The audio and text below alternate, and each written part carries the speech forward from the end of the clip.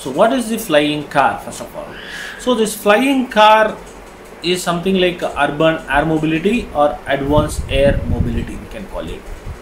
So if you look globally, there are more than 200 companies are working in this domain, research and development currently. So in India, we just started a couple of years before, three to four years before, and now we reached you know certain milestone. Now we are going to build a full-scale prototype. So how this flying car will works? This flying car will works basically a vertical takeoff and landing VTOL technology.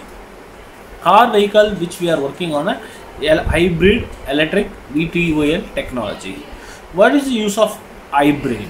If you talk about hybrid is something like can able to fly biofuel, so more sustainable. So uh, it's going to be a hybrid electric vertical takeoff and landing.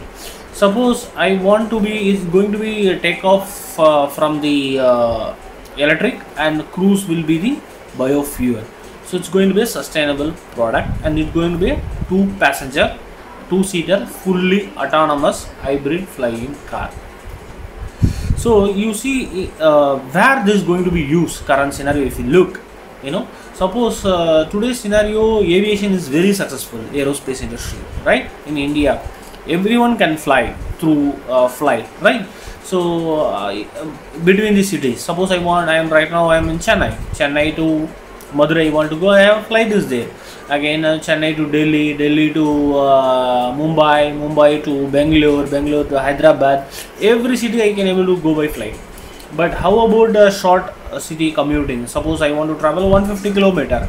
Either I have two short, two options. Either I need to go by train or I need to go by a road, by road, by either by car or bus, whatever it may be.